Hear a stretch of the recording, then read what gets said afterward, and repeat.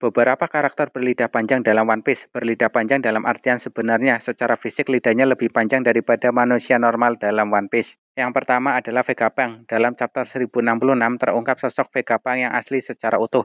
Dia digambarkan sebagai seorang pria tua dengan lidah panjang, sosok seorang yang dikatakan manusia paling cerdas sedunia. Yang kedua adalah Karibo, seorang bajak laut user buah iblis tipe Logia Numa Numa Nomi yang memungkinkan berubah menjadi elemen rawa bisa dikatakan menjadi manusia rawa. Karibo pertama muncul di Kepulauan Sabodi, tertipu oleh kelompok topi jerami palsu. Karibo terakhir kali terlihat dalam chapter 1065 di kapal Thousand Sunny di Pulau Egghead. Sesuai kesepakatan, Karibo akan diturunkan jauh dari negeri Wano oleh kru topi jerami karena Karibo telah membantu Luffy saat di Wano. Namun Karibo tidak menyangka akan diturunkan di Pulau Egghead, pulau milik pemerintah dunia. Yang ketiga adalah Charlotte Perospero, anak pertama dan anak laki-laki pertama di keluarga Charlotte atau Big Mom, menjabat sebagai Menteri Permen di Pulau Permen. User buah iblis tipe Paramecia Peroperonomi memungkinkan membuat dan memanipulasi permen sesuka hati. Setelah dikalahkan Nekomamu Sidiwano, nasib Perospero belum diketahui sampai chapter 1066.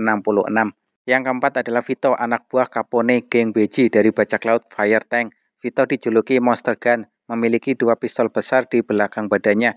Vito adalah fans berat Jerma Double Six. Dia sangat bersemangat ketika bertemu langsung dan berbincang dengan Vince Mock Sanji di kapal Big Mom. Yang kelima adalah Boa Sandersonia, saudari dari Boa Hancock, user buah iblis Zoan, Happy Happy Nomi model Anaconda.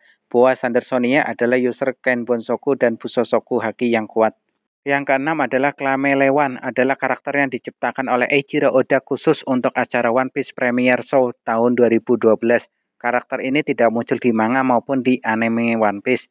User buah iblis kopi-kopi Nomi memberi kemampuan yang memungkinkan untuk menyalin apa pun, baik penampilan maupun kemampuan orang lain. Bila ada karakter berlidah panjang lainnya yang terlewatkan dalam pembahasan, langsung saja drop di kolom komentar ya. Terima kasih.